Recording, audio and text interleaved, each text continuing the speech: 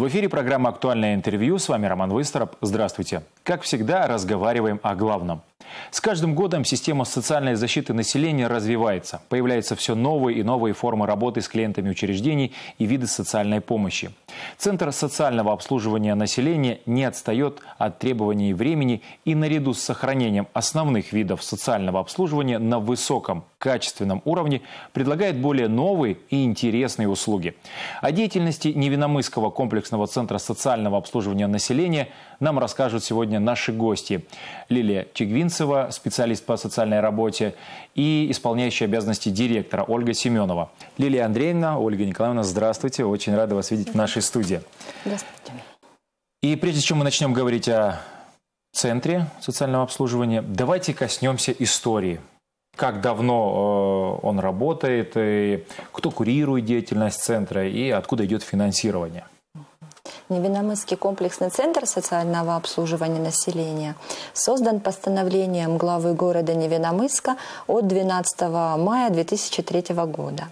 А, руководителем учреждения являлась Людмила Алексеевна Попова. Нам досталось в управление старое здание а, бывшего детского сада «Яселек» 1953 года постройки. А, было полностью разрушено, не было окон, дверей. И благодаря руководству Людмилы Алексеевны мы сейчас работаем в комфортабельном здании с оборудованием. У нас оборудована территория. Учредителем нашим является Министерство труда и социальной защиты населения, руководителем министерства, руководит министерством министр труда э, Мамонтова Елена Викторовна. Финансируемся мы за счет бюджета Ставропольского края. Угу.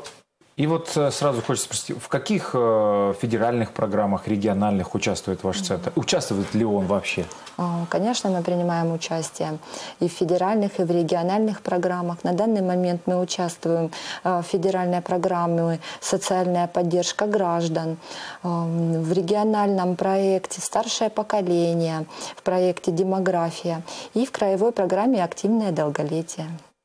Слушайте, ну прям хороший список. Mm. Чем занимается ваше учреждение и кто целевая аудитория? А, учреждение занимается предоставлением социальных услуг гражданам. А, в структуре учреждения 7 отделений. Отделение, а, три отделения социального обслуживания на дому, отделение срочного социального обслуживания, специализированное социально-медицинское отделение, отделение реабилитации детей с ограниченными возможностями здоровья Целевой категорией являются граждане пожилого возраста и инвалиды. А, люди, попавшие в трудную жизненную ситуацию, семьи с детьми, дети с ограниченными возможностями здоровья и дети-инвалиды.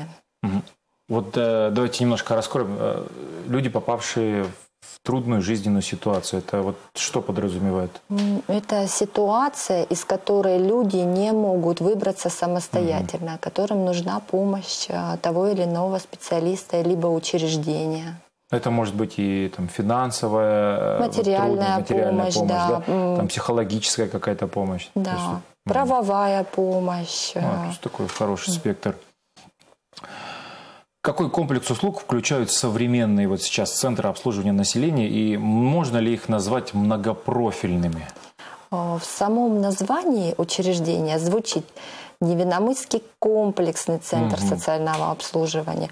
И услуги, которые мы предоставляем, а, предоставляются в комплексе. Это могут быть социально-бытовые услуги, это могут быть социально-правовые услуги, социально-трудовые услуги, социально-психологические услуги, услуги по повышению коммуникативного потенциала, обслуживание на дому. Угу. Гражданин, который не может сам, пожилой гражданин, который не может приобрести сам себе продукты, сходить за продуктами, заходить за товарами первой необходимости. Ему оказываются социально-бытовые а, услуги на дому. Угу. Также мы оказываем услуги не только на дому, но и в полустационарной форме, то есть в учреждении. Этому гражданину может понадобиться на дому не только социально-бытовая услуга, но и услуга психолога, помощь юриста, может какая-то помощь в продуктах питания, либо в товарах первой необходимости. Всем этим учреждение может помочь. У нас функционирует социальная парикмахерская, социальная швейная мастерская. Ничего себе, я, допустим, не знал, что такое на самом деле очень большой спектр. Но вот наряду с традиционными формами социального обслуживания разрабатываются и внедряются инновационные технологии, да, насколько я знаю. Вот тревожные кнопки, санаторий на дому, вот, как вы сказали, парикмахерская, опять же, на дому, виртуальные программы досуга для людей с ограниченными возможностями и пожилых. Так ведь вот а о них можно вот чуть поподробнее рассказать? На данный момент в центре реализуются 32 инновационные технологии. А, но приоритет в связи с реализацией, участием учреждения в реализации а, национальных э, проектов и региональных программ отдается стационарозамещающим технологиям, таким, таких как э, санаторий на дому, служба сиделок, школа ухода. Скажите, что входит э, в санаторий на дому, в это понятие? В санаторий на дому входит предоставление гражданам пожилого возраста э, услуг, оздоровительных услуг на дому. Это массаж, это физиопроцедуры различные. А предоставляются они строго по назначению лечащего врача. Угу. Благодаря участию учреждения в национальных и федеральных краевых и региональных проектов открыта служба сиделок. Она создана для того, чтобы оказывать социально-бытовые услуги гражданам с тяжелыми заболеваниями, с тяжелым течением заболеваний на дому. Услуги предоставляются до 4 часов в день. Также у нас функционирует служба сопровождаемого проживания, э, в которой специалисты учреждения помогают организовать быт инвалидов, самостоятельную жизнедеятельность. Это может быть обучение элементарным, э, приобретение э, покупок, обучение использования мобильных технологий, там освоение... Средства гигиен, освоение, да, как пользоваться элементарно гигиенами, приготовить себе самостоятельно пищу. Одним еще из направлений, очень интересное направление нашей работы является школа ухода. Я хочу вот э, передать слово mm-hmm. Лилии Андреевне, чтобы она более подробно рассказала об этой форме. Она является преподавателем школы ухода. За 2020 год у нас прошло обучение порядка 31 человека в школе ухода. Собственно, для кого она создана. Создана она для родственников э, немобильных, маломобильных граждан, для всех желающих э, на будущее, скажем так, обучиться элементарным э, навыкам, для волонтеров. Как это вообще работает? У нас в центре оборудована комната школы ухода, в которой представлены, ну, если не все, то очень многие средства реабилитации, медицинская многофункциональная кровать, противопролежневый матрас, э, кресло-коляски, э, ступенечки в ванную, поручни для самоподнимания. Э, занятия у нас организуются по следующей системе. 18 тем, которые, собственно, имеют комплексную такую как бы программу. Проходят у нас и сотрудники обязательно, то есть вновь прибывшие у нас обучаются, начиная с простым, простым навыком Э, ухода и э, заканчивая уже более как бы сложными э, параметрами, такими как перемещение, переодевание в кровати, кормление. Для людей, желающих, допустим, ну, не всем, не все располагают и временем, и возможностью все эти 18 тем перейти на занятия. То есть выборочно э, организуется обучение. Э, к примеру, люди не знают, как переместить э, человека, пересадить. Ну, по мере того, с какими трудностями Да, с какими трудностями обращаются. И мы, собственно, подбираем уже индивидуально, то есть индивидуальные занятия. Предусмотрено у нас и выезды на дом. То есть люди тоже не могут, а, они можно сказать, привязаны к человеку, который дома, они не могут выйти, и мы организуем занятия на дому. Э, также с помощью соцсетей, mm-hmm. с помощью э, интернета у нас дистанционное обучение. То есть с какими-то вопросами они могут всегда к нам обратиться. Если не сразу, то мы подберем э, нужный, как бы, нужную информацию и расскажем. Бывает, приходят пожилые пары, бабушка с дедушкой, то есть их ничего не беспокоит, у них все в порядке, но понимая, что старость неизбежна, какие-то болезни, они хотят знать, как им справляться. И, собственно говоря, школа ухода помогает гражданам, э, во-первых, обезопасить себя от травмирования, потому что это самое первое, с чем встречаются люди, выписав после больницы, они не знают, куда бежать, кому обратиться, срывают спины, то есть э, травматизм для себя, причиняют э, как бы болевые ощущения и человеку, который болеет, передвигая его, перемещая. Это и психологический дискомфорт, потому что люди в растерянности, и уже здесь Э, не смотрят на то, как комфортнее человеку организовать выздоравливание. Тут уже как бы на бытовом уровне совсем как бы вовремя покормить и э, сменить памперс. Угу. Вот. Здесь уже подключаются и психологи наши, работают с родственниками, и много, вот, несмотря за небольшой вот период, как бы много уже тому показателей историй, как бы, в которых э, и уход за гражданами становится намного легче, благодарности уже от родственников принимали, и сам, сами граждане идут на поправку гораздо быстрее. Вот у вас в учреждении есть обслуживание э, для пожилого возраста, комплекс спортивно-оздоровительных мероприятий. Это вот что за мероприятия такие?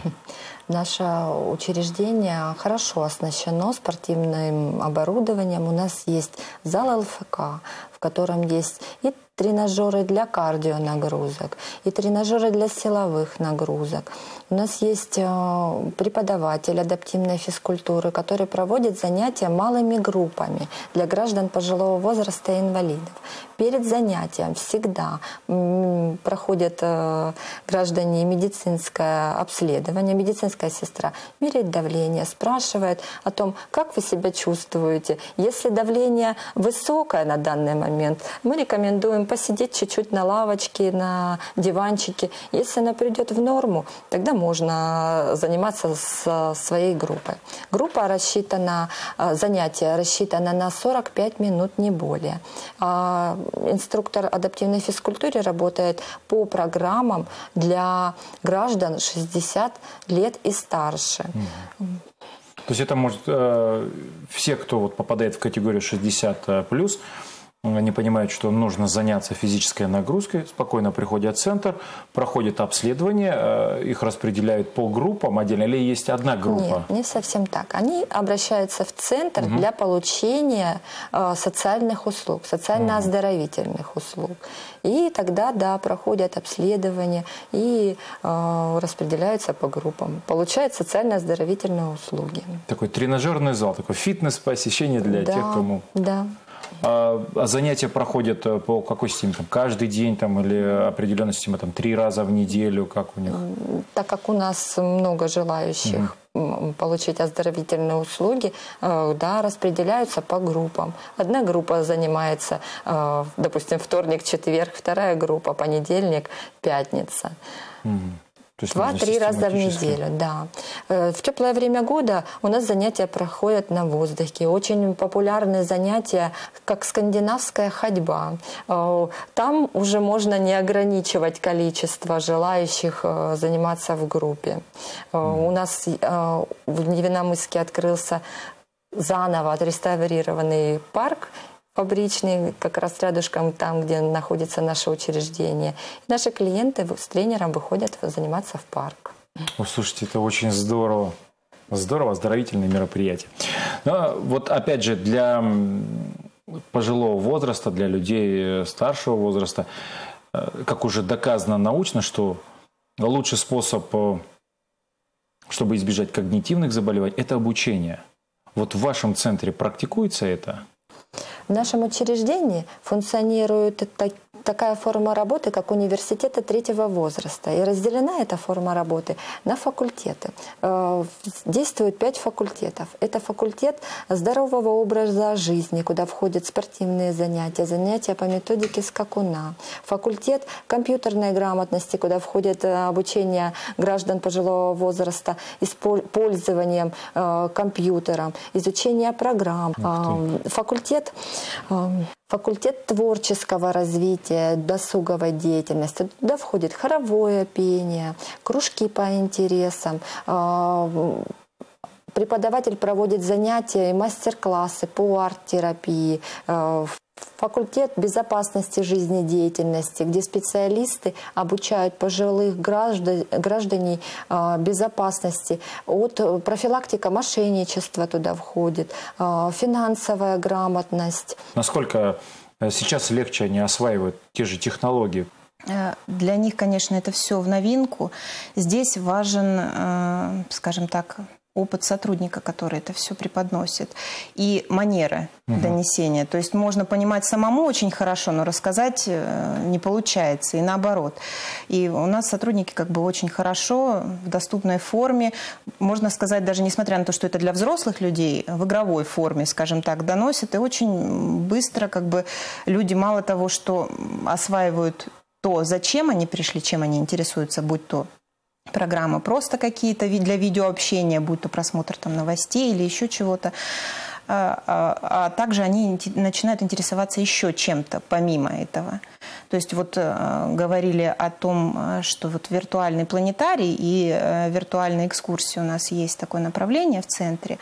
Вот тоже пожелание граждан посмотреть что-то где-то по миру, какую-то экскурсию в молодости желали посетить, не получилось. Ну вот интересно. Сейчас много, конечно, программ по телевидению можно выбрать, посмотреть.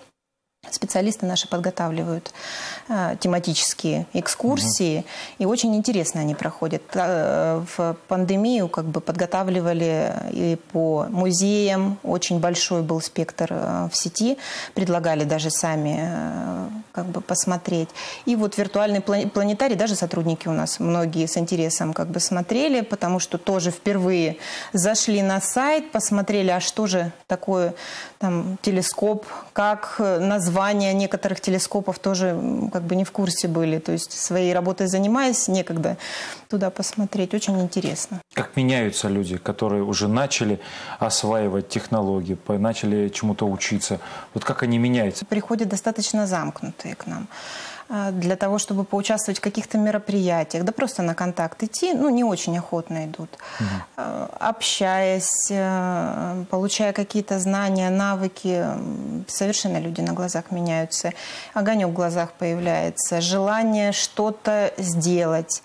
Э, что-то узнать новое. То есть это стремление, оно развивается. Оно где-то сидело внутри и было как бы в спящем состоянии, а здесь оно просто пробуждается. Открываются люди. Да, тяга к жизни, тяга к знаниям, тяга к знакомствам. Э, они очень контактные, очень открытые становятся. У нас на каждый праздник э, граждане пожилого возраста ставят какое-нибудь представление, организуют праздничное мероприятие.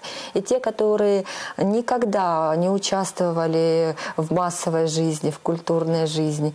Они сейчас вот в этом возрасте, они раскрываются. У нас есть э, преподаватель танцев, которая всю жизнь работала с детками, она э, серебряный волонтер. И она проводит занятия с пожилыми гражданами. Латиноамериканские танцы они изучают. Они румбу, вальс. Э, граждане вот уходят после занятий пожилые просто вот новыми людьми что это здорово. Но вот мы с вами э, в течение беседы не раз говорили, э, касались того, что вот материально-техническая база, что у вас есть и планетарий, и возможности обучаться. Э, давайте вот сейчас поговорим в целом. Материально-техническая база вашего центра, какая она? Благодаря участию специалистов э, в различных региональных, федеральных, международных э, программах и грантов у нас учреждение оснащено полностью. Благодаря участию в программе «Доступная среда» э, центр доступен для всех граждан с инвалидностью. У нас есть подъемная платформа на второй этаж для инвалидов-колясочников. У нас есть учреждение полностью оборудовано пандусами. Благодаря участию э, в грантах Фонда поддержки детей, находящихся в трудной жизненной ситуации, территория учреждения оборудована детскими городками, спортивными тренажерами. Э, также мы участвовали в грантах Фонда поддержки, таких как только вот закончилась эта программа комплекс мер по поддержке родителей, воспитывающих детей-инвалидов. Благодаря этому участию мы э, оборудовали комнату Монтессори, мы приобрели такое оборудование, как Томатис для деток-инвалидов. У нас есть сенсорная комната, у нас есть ликотека. Благодаря участию в региональной программе «Старшее поколение» мы смогли приобрести автомобиль для доставки граждан с когнитивными расстройствами. Он также оборудован подъемной платформой. Мы оборудовали комнату э, психологической разгрузки для граждан с когнитивными расстройствами, э, мягкой мебелью, телевизором, тренажерами для ног, э, тренажерами для рук. Плюс у вас целый тренажерный комплекс для, для э, спортивно-оздоровительных мероприятий, получается. Ну, ре реабилитационный у нас, в принципе, вот пополнился прокат у нас в рамках системы долговременного ухода. А, действует на базе центра прокат абсолютно бесплатный для граждан. То есть если а, по индивидуальной программе реабилитации люди должны ждать, то есть какой-то срок, все это время угу. людям необходимо. То есть на, у нас э, достаточно рекомендации врача. Более 37 наименований. И тоже быстро очень, как только мы начали рассказывать, разошлось оборудование. Это вот вроде бы кажется совсем такая вещь, вот простенькая, ступенечка для ванну, а, поручни для самоподнимания. Это ну, незаменимая помощь для пожилого человека, у кого нарушен опорно-двигательный аппарат. То есть э, риск травматизма сразу же, это вот ну, настолько востребовано, расхватали вот быстренько. И вот э, этот прокат у нас э, прям очень востребован.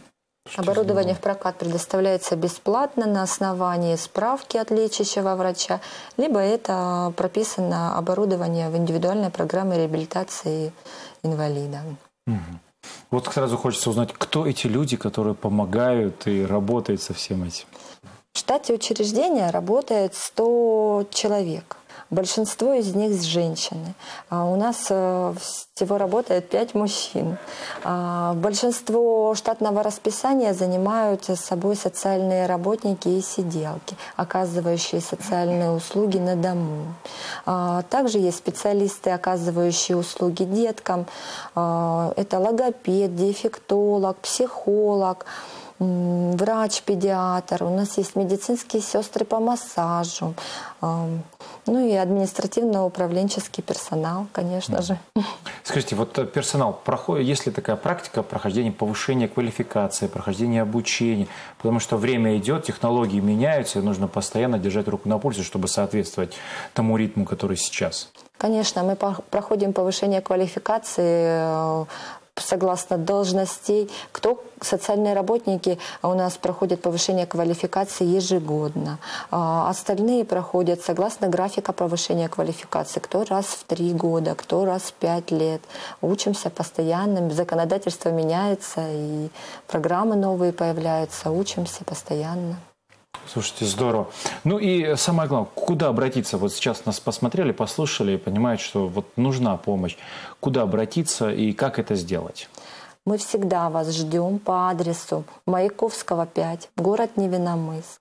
А, обратиться вы можете как по телефону 598 57, так и лично. У нас есть свой сайт. Вы можете заглянуть и на наши странички в социальных сетях. Угу. Для того, чтобы обратиться, что нужно? Какой перечень, может, определенный перечень документов? Или все это можно найти на сайте? Мы работаем на основании заявительного характера. То есть гражданин должен либо прийти, либо написать э, нам на электронную почту, либо обратиться через сайт. Мы работаем на основании заявительного характера. Э, если изъявится, если есть желание, если есть нуждаемость, мы всегда ждем. Лилия Андреевна, Ольга Николаевна, спасибо вам большое за интересную и познавательную беседу. Друзья, я напоминаю, что сегодня мы говорили о деятельности Невиномысского комплексного центра социального обслуживания населения. И в гостях у нас были э, Лилия Чигвинцева, специалист по социальной работе, и исполняющая обязанности директора Ольга Семенова. Мы с вами прощаемся. До новых встреч в эфире «Своего ТВ».